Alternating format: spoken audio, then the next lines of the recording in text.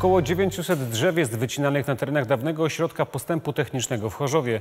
To działka przylegająca do Parku Śląskiego. To tu osiedle mieszkaniowe chciała wybudować spółka Green Park Silesia, ale nie dostała na to zgody. Na wycinkę drzew zgody też formalnie nikt nie wyraził, a mimo to są usuwane. Jak to możliwe, sprawdzał Paweł Jędrusik. Dziś drzew na działce na terenach OPT już nie ma. Jak to się stało, że ktoś pozwolił na ich usunięcie? Jak udało nam się ustalić, do Urzędu Miasta w Chorzowie wpłynęła jedynie informacja podpisana przez siedem osób fizycznych, że planują one przeprowadzić wycinkę. Jak dowiadujemy się w urzędzie, w takiej sytuacji zgoda nie jest potrzebna. Na pewno jest to e, skandal, nie powinno się to odbywać, z tego głównie względu, że e, również i w moim e, programie wyborczym była ochrona jednak Parku Śląskiego, jego tej historycznej części, bo o niej mówimy, o tej otulinie.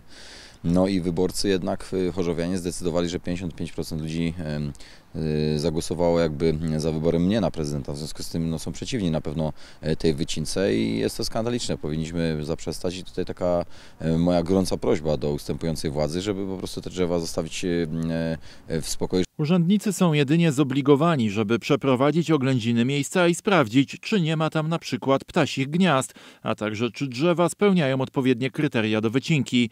Oględziny zostały przeprowadzone, stwierdzono, że są tam ptasie gniazda. Sprawa trafiła do RDOŚ w Katowicach. Wydaliśmy mm, decyzję zezwalającą na usunięcie 10 e, gniazd e, ptaków e, gatunków chronionych oraz jednego siedliska wiewiórki w terminie do 29 lutego, więc obecnie prowadzona wycinka nie jest powiązana z, z decyzjami, które wydawaliśmy.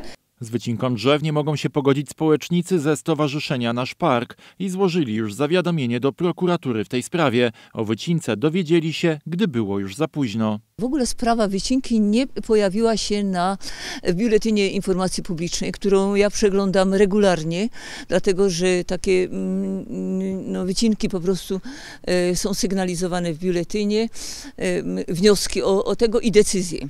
E, do, do, tej pory po prostu nie było. I co, co się okazało, że ponoć wnioski osób fizycznych nie są y, po prostu y, przedstawiane w biuletynie. Spółka Green Park, która chciała budować na terenach po OPT budynki mieszkalne do sprawy ma się odnieść w przyszłym tygodniu.